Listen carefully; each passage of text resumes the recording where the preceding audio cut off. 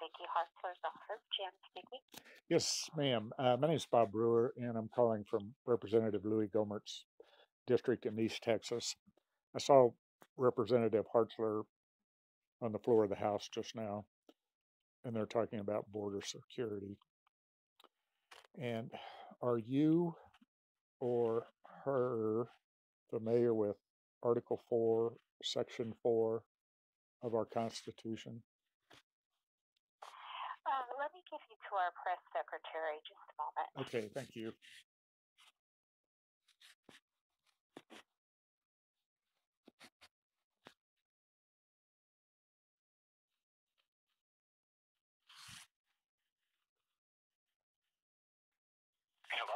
Hello. Uh, yes, sir. Uh, Yes, name, hi. uh, who am I speaking with? My name is Steve Walsh. How can I help? you? Hi, Steve.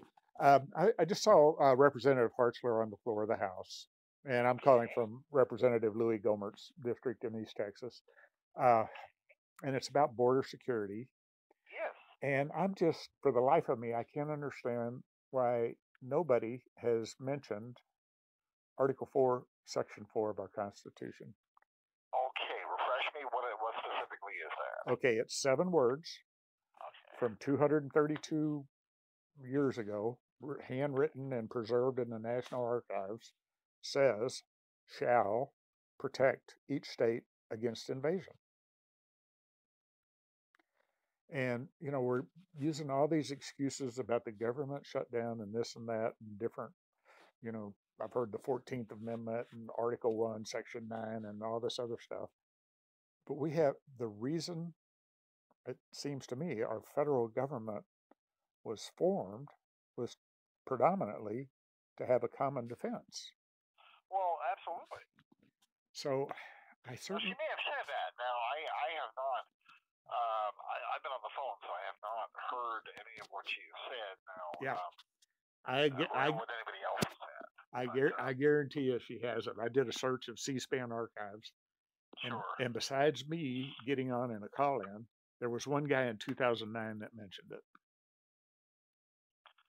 Well, I, I, I mean, it's not a. I, I, I do not know the reference when you mentioned, you know, whenever someone calls and says, you know, Article six four three point three five. I don't know any of that. Right. But when, when you mentioned, definitely, I have heard that before.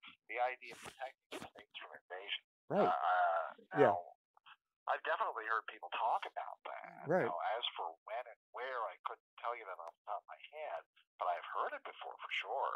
Yeah. It was uh, 1787, and the first part of that. no, no, I mean, I mean, recent. No, no, I, Yeah. no, I, I cut you off. I mean, I mean, during this current debate. Right. I don't mean today. When I say current debate, I don't mean the last four hours activity. I mean, I mean the debate that's been going on for the past uh, uh, Two long? months.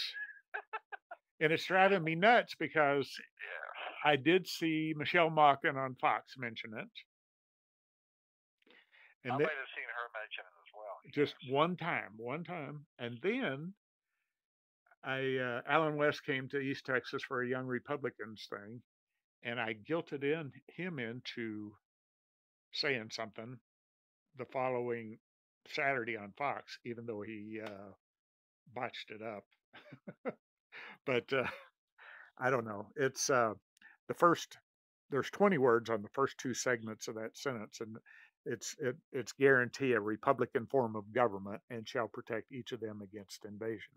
So, you know, and we're messing up that republican form of government too because Well, we haven't exactly. Well, I, I mean, we we've got a lot of problems, no question about that. yeah, And the issue we have here with uh, with with uh, people coming into our country, and we're not we're not really doing a whole lot to stop it.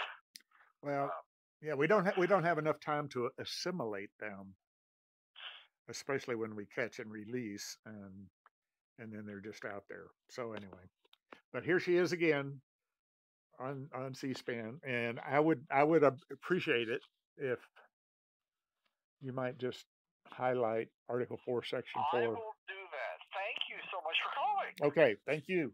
Appreciate it. Take Yeah, care. yeah, Bye-bye. bye.